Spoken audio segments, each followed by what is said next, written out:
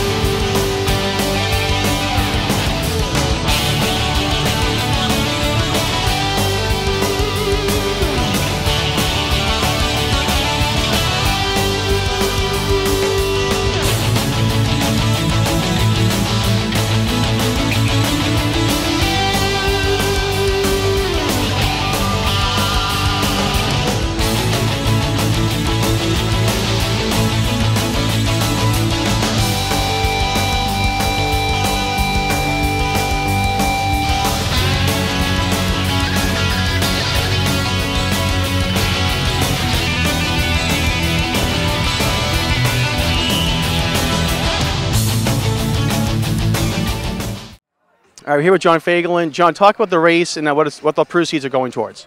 Well, number one, what a great day for a race, to be honest with you. And uh, the count, somewhere around 450 entrants, so that we're really pleased with that. But the beauty of the race is that all of the proceeds go towards the health and wellness programs within the pub, Quincy Public Schools. One of the unique things about this race is you see a lot of students running. Uh, talk about that, how it's good to see the students getting out there as part of the health and wellness program.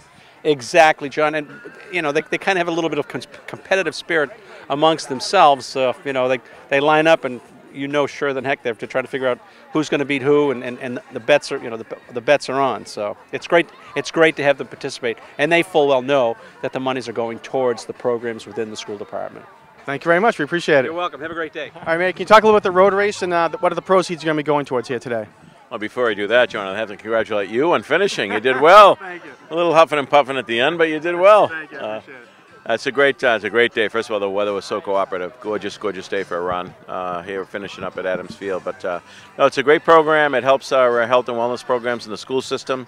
Um, you know, as much as we try to provide as much as we can in the city budget, it's never enough to do everything. So when you have some programs like this that can augment those programs with some additional dollars, I think it goes a long way. So I know the school nurses look forward to this because we're able to do some more programs in each of the schools advocating more health and wellness. Talk about also the students that are here today, you know, helping cooking, singing, uh, in the band, uh, really a full participation for all the schools. It is. It's, it's, it's a great day for the schools. Uh, we had a lot of participation. Uh, we had teachers and department heads running, principals running, uh, and of course a lot of volunteers from the students, which is good because it, it goes right into the concept of that whole idea of community service hours.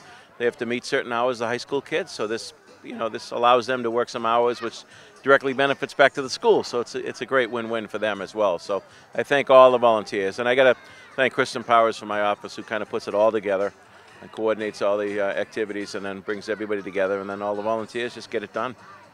Thank you very much. Appreciate it. Thank you.